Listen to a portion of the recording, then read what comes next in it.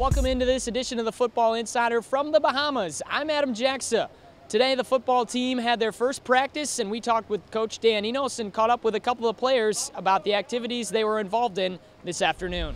We're here with head coach Dan Enos, and coach, you guys have made it to the Bahamas. How's the trip been so far? It's been really good. You know, obviously this is a, a great place. The resort's uh, wonderful. Uh, the weather's been fantastic. Um, players are having a good time. Coaches and their families are having a good time, and we had a really good practice today. It's hard to not call this a vacation, but you guys do have work to do. You do have a bowl game to play. How do you keep the attitudes of the players' work mentality when there's other things going on? Uh, we don't just turn them loose 24 hours a day. We have a lot of meetings and we have practices to prepare for. So there's a, there's a time to, to make sure that we're focused and time to make sure that um, you know we're concentrated on what we need to do. But we're also going to try to um, give them time to enjoy it and give them time to, to see the sights and uh, experience the Bahamian culture a little bit.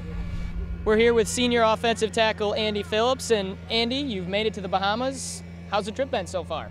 Oh, it's been awesome. You know, we uh, got in yesterday, and a lot of guys uh, were able to get to the rooms, go out, uh, have a little fun, just kind of you know scope out the, the scenery a little bit. And you know, we had a nice event last night, and uh, came out this morning, had a good practice. So everyone's having a good time so far. And you know, when it's time to play, we're playing. When it's time to work, we're working.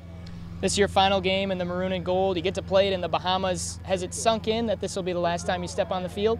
Not really, honestly. I mean, I don't think it'll ever really sink in. And uh, you talk, I talk to guys, you know, to kind of prepare for it. The guys from like who I played for in the past and stuff, and they just kind of tell me that you don't really realize it really till the next season. You know, I'm really not trying to think about it right now. I mean, I know it is the last one, but just trying to enjoy every minute of it with my teammates. We're here with senior Deon Butler, and you got to swim with the Dolphins here in the Bahamas. How was it? It was really great. You know, to to be around something that you don't normally see. You know, um, I, am pretty sure it's dolphin is in Michigan, but you know we don't get to see them as much. And being around here was really great. You know, to touch them, to feel them, to see them doing tricks. You know, um, it was it was really good. I still know my dolphin name, Naya, and it was like adorable. What was the best trick that Naya put out there for you guys? Um, dancing with her. You know, um, she actually played a song that you know uh, she started singing, and we would start dancing with her. You know, no flex zone, and she was singing it, so it was pretty cool to see that. All right, when your teammates come up to you and you know harass you a little bit for swimming with the dolphins, what what's your response for them? I mean, I let them know it was a good experience, and I wish um, next year we can come back to the Bahamas, they do the same. Thanks for watching today. Make sure you join us tomorrow for all our other updates about the Chippewas. They'll have practice early in the morning, and then they've got Youth Community Day at the stadium. And we'll have the video for you at cmuchippewas.com.